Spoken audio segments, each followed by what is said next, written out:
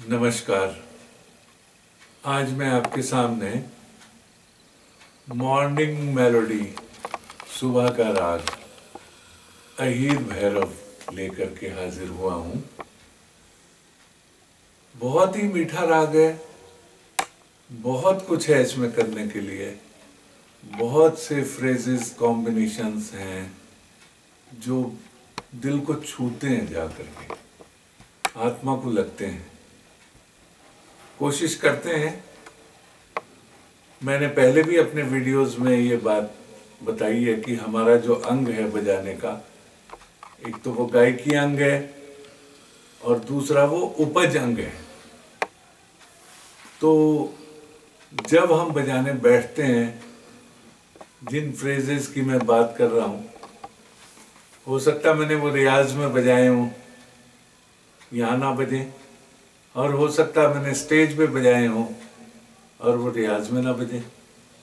तो अब तो ऊपर वाले की मर्ज़ी है कि वो फ्रेजेस हमारे हाथ से निकलवाना चाहता है या नहीं। तो पेश कर रहा हूँ राग Ahir Bhairav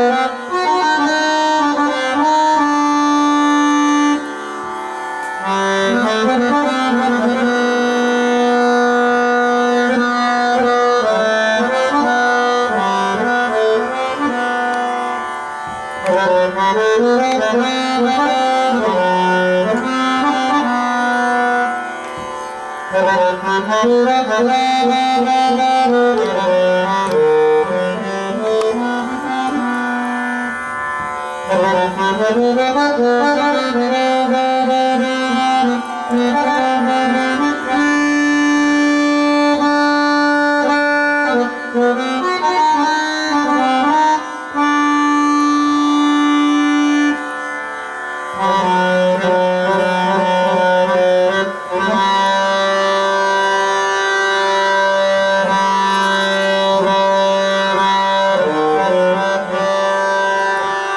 Oh, my God.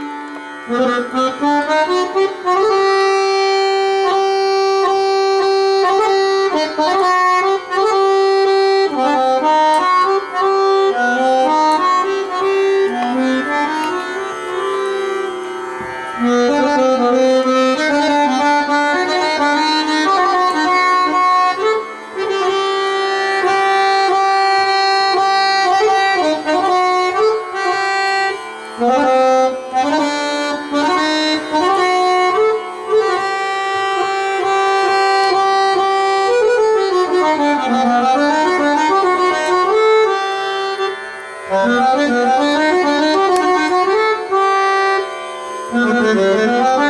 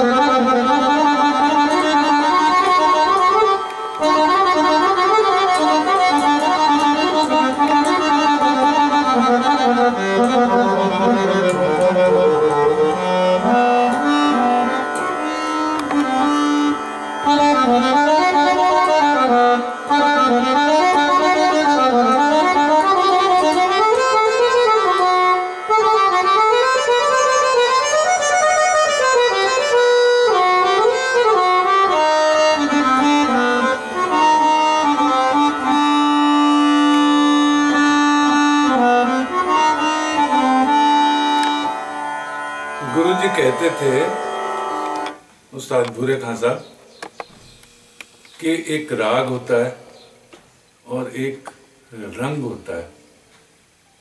जब हम शास्त्र के हिसाब से, ग्रामर के हिसाब से सॉरी राग बजाते हैं, वो राग है। और फिर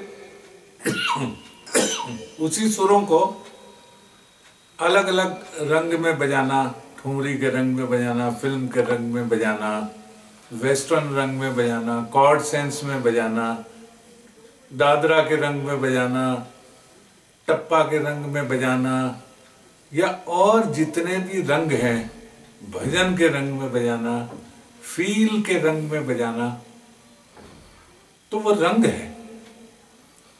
अब इसी राग का वेस्टर्न सोच जो है, कॉर्ड प्रोग्रेशन जो होती है, वो किस तरह से होती है? कैसे इन्हीं कॉम्बिनेशंस को, इन्हीं सुरों को डिफरेंट कॉर्ड कॉम्बिनेशन में कैसे कन्वर्ट करके हम बजा सकते हैं?